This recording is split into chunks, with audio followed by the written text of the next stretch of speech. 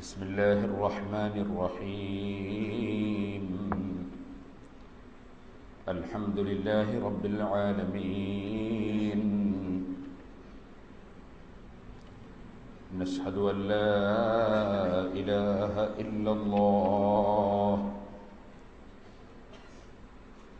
ونشهد أن محمدا عبده ورسوله.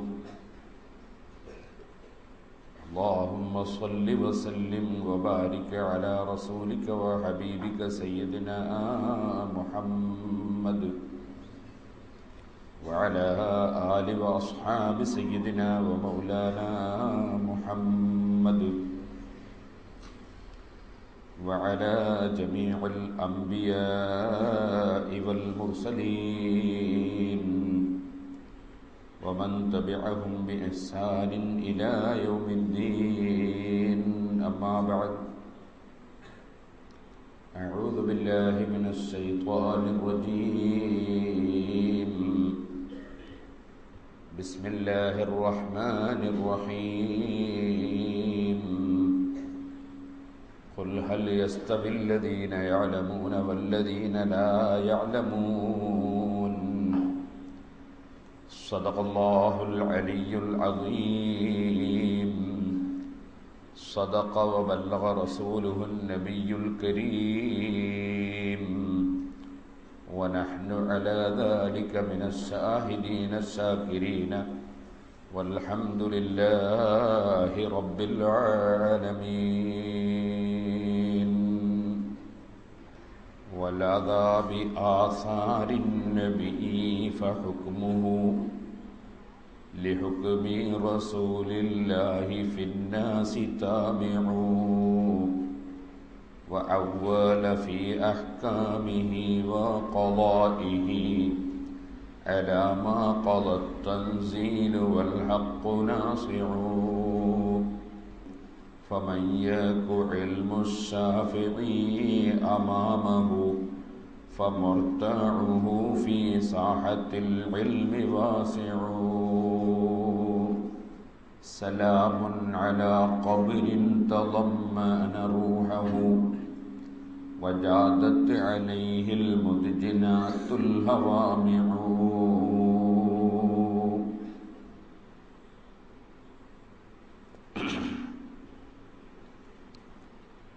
ബഹുമാനികളെ അഷ്റഫുൽ ഹൽക്ക് സല്ലാഹു അലഹി വസല്ലമ തങ്ങൾക്ക് ഇസ്രാ മെഹറാജ് നടന്നിട്ടുള്ള അതിമഹത്തായ മാസമാണ് റജബ് മാസം. നമുക്ക് അഞ്ചു നേരം നിസ്കാരം നിർബന്ധമാക്കപ്പെട്ടത് ഈ മാസത്തിലാണ്.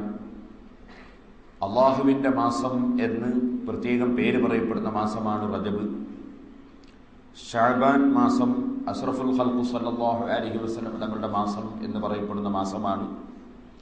റമദാൻ മാസം മുഹമ്മദ് നബി സല്ലാഹു അലഹി വസ്ലം തങ്ങളുടെ ഉമ്മത്തുകളുടെ മാസം എന്ന് പറയപ്പെടുന്ന മാസമാണ്. റജബ് ഇരുപത്തി ഏഴാം രാവ് ഇസ്രാ മെഹറാജ് നടന്നിട്ടുള്ള വലിയ അനുഗ്രഹം നടന്നതിനാൽ തന്നെ ഇസ്രാ മെഹറാജിന്റെ വിവരണങ്ങൾ സാധാരണയായി നാം റജബ് മാസത്തിലുള്ള ഹൽക്കയിലും മറ്റും പറയാറുണ്ട്. ഈ വർഷം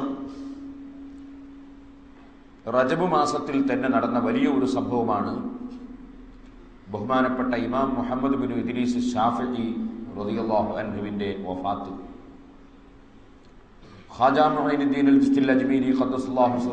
തങ്ങളെയും സ്മരിക്കപ്പെടാറുള്ളത് ഈ മാസത്തിലാണ് അതിനാൽ ഈ വർഷം നമ്മുടെ ഈ ഹൽക്കയോടനുബന്ധിച്ച് ഒരു ചുരുങ്ങിയ സമയം ഇമാം ഷാഫി റളിയല്ലാഹു അൻഹുവിനെ സംബന്ധിച്ച് അവിടുത്തെ ബറക്കത്ത് ഉദ്ദേശിച്ച് സംസാരിക്കാനാണ് ഉദ്ദേശിച്ചിട്ടുള്ളത്. റജബ് ഇരുപത്തി ഏഴിന് നോമ്പ് സുന്നത്താണെന്ന് വരെ ഇമാം ബാജൂരി റഹ്മത്തുല്ലാഹി അലി നിങ്ങളെ പോലുള്ള പണ്ഡിതന്മാർ കർമ്മശാസ്ത്ര ഗ്രന്ഥങ്ങളിൽ വിവരിച്ചിട്ടുണ്ട്. റജബ് മാസം മൊത്തത്തിൽ തന്നെ നോമ്പെടുക്കാൻ വളരെ പുണ്യമുള്ള ഒരു മാസവും ആണ്. ഇമാം ഷാഫി റളിയല്ലാഹു അൻഹു റജബ് മാസം അവസാനത്തെ വെള്ളിയാഴ്ച അവസാനത്തെ ദിവസം ഇഷാഇന് ശേഷം ആണ് മഹാനവറുകളുടെ വഫാത്ത് ഉണ്ടായിട്ടുള്ളത്.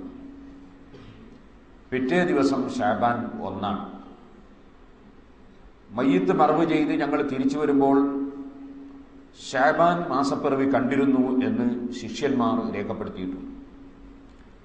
അപ്പൊ ഇമാം ഷാഫി റതിയുള്ളാഹു അൻഹുവിനെ ലോകം അനുസ്മരിക്കുന്ന ഒരു മാസമാണ് റജബ്. മറ്റുള്ള മഹത്വങ്ങൾക്കെല്ലാം പുറമെ.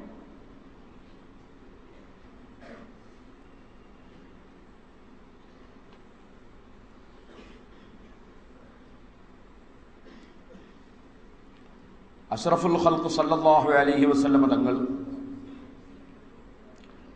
വഫാത്തിന് മുമ്പും ശേഷവും ഇമാം ഷാഫി റളിയല്ലാഹുവിന്റെ ജന്മത്തിന്റെ എത്രയോ വർഷങ്ങൾക്ക് മുമ്പ് തന്നെ ഇമാം ഷാഫി റളിയല്ലാഹു അൻഹുവിനെ സംബന്ധിച്ച് മുൻകൂട്ടി പ്രഖ്യാപിച്ചിട്ടുണ്ട്. വഫാത്തിന് ശേഷവും ഇമാം ഷാഫി റളിയല്ലാഹു അൻഹുവിന് അംഗീകാരം നൽകിയിട്ടുണ്ട്. രണ്ടാമത്തെ വയസ്സ് മുതൽ മക്കയിൽ വളർന്ന മഹാനായ ഇമാം ഷാഫി റളിയല്ലാഹു അൻഹു ജനിച്ചത് ഷാം നബി സല്ലല്ലാഹു അലൈഹി വസല്ലമ തങ്ങൾ പ്രത്യേകം ബർക്കത്ത് കൊണ്ട് ദുആ ചെയ്ത ഷാം പ്രദേശം ഫലസ്തീൻ ഭാഗം. അവിടെ അസ്ഖലാൻ എന്ന് പറയുന്ന പട്ടണത്തിന്റെ സമീപത്ത് വസ്സ എന്ന് പറയുന്ന പ്രദേശത്താണ് ഇമാം ഷാഫി റളിയല്ലാഹു അൻഹുവിന്റെ ജന്മം. ഹിജറ നൂറ്റി അൻപതിലാണ് ഇമാം ഷാഫി റളിയല്ലാഹു താലാനു തങ്ങൾ അവിടെ ജനിക്കുന്നത്.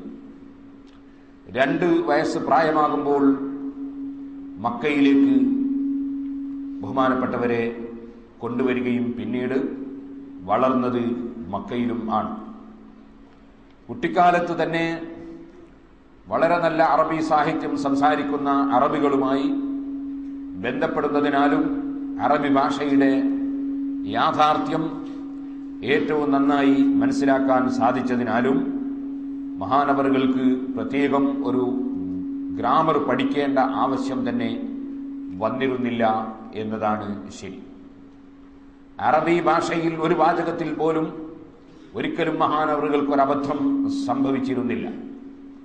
ആ രൂപത്തിലായിരുന്നു ബഹുമാനപ്പെട്ടവരുടെ എല്ലാ പ്രവർത്തനങ്ങളും എല്ലാ ഭാഷാ പാണ്ഡിത്യവും നടന്നിരുന്നത്. ഇമാം ഷാഫി റളിയല്ലാഹുവിന്റെ പ്രഗത്ഭനായ ശിഷ്യനാണ് ഇമാം റബി റതി അൻഹു.